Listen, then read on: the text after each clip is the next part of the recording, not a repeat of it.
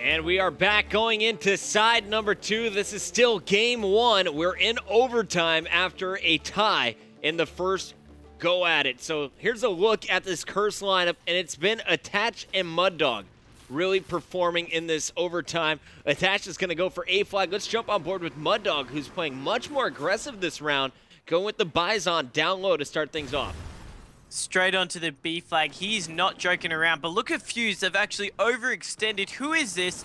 I'm trying to figure it out. It's actually Trojan. He's already on top of that A flag pocket.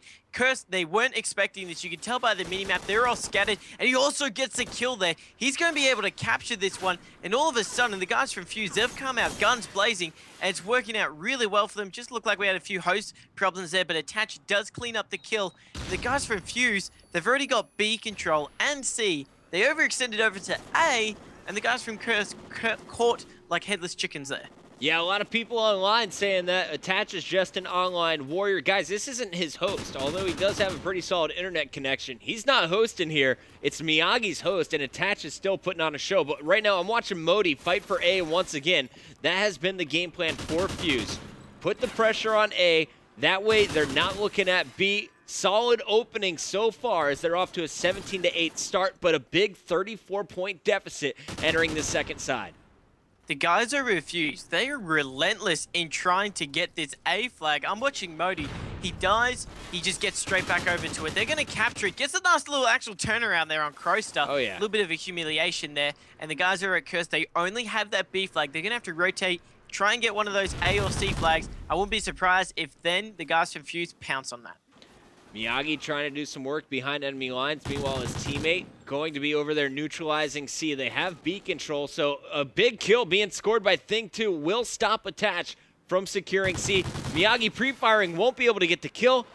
So nice work at the base from Thing 2 and Modi now. Five and one was on a seven-point streak. Let's see what he's doing here. Make it oh. uh, six and one after that kill he just managed to get the player off the C flag while concussed. Don't even know how. And the guys at Curse have already rotated back onto that B flag. So Fuse, they look like a different team here, Puckett. They were very, almost dead, if you could say so, in terms yeah. of their playstyle in that first half.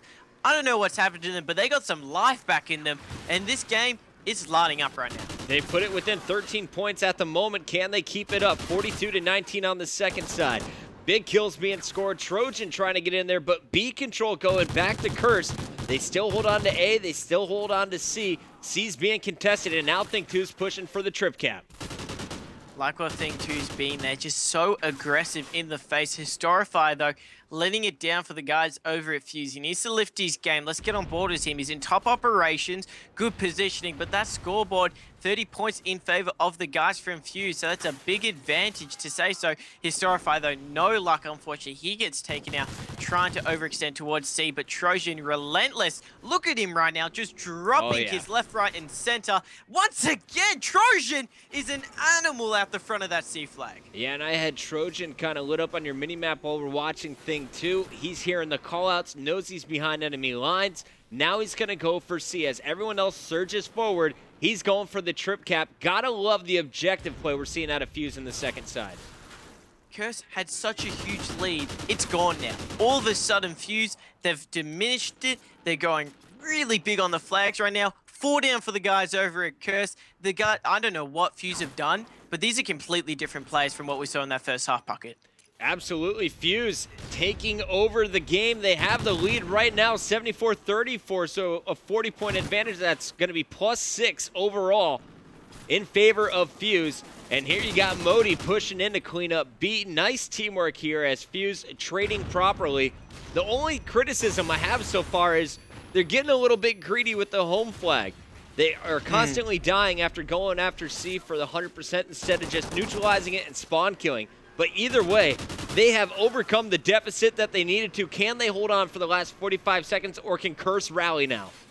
Oh, nearly a 40 point lead. So if I think about it, it's only about a one or two point differential right now, Puckett. If we see a repeat of what we saw on the first map, I just don't know what to say. The guys from Curse looks like they're about to get a triple cap. They just neutralized that A flag. No one from Fuse will be getting any points. Trojan, he's forced to overextend towards C and then Thing 2 over near the A flag. So they're going to try to finish this one off strong. But I think Curse might have just done enough Uh-oh, to Curse close is that retaking the lead. Oh no, don't tell me they've done it. I think they have, man. I'm watching Mud Dog just got a big kill at C. He's resecuring it. 32 point difference in this game. 34 point advantage entering the side, and there we have it. Coming down to the wire. Curse Wow. pulling it out by two. Oh, are you kidding me? That's wow. You know, Curse they, they turned up when they needed to. They ha they were down by nearly 40 points. They managed to just bring back. They only needed a few, only a few points after that huge first lead, and they managed to keep. I'm I am act actually shocked that Curse were able to do that one. Looking at the captures though, attached six captures to his name. Not only slaying, but being that main OBJ player for Curse Orange. Wow. Fuse, you got to take your hat off to the effort they put on there. Modi opening things up 6 and 1. Perfect work there by all of the players to overextend. They had the three cap going for a while. But Curse, with that huge lead from the first side, able to get it together in the final minute. And they will come back to win by just two points. These two teams so evenly matched. We'll see them go at it once again. Search and Destroy is coming up after this.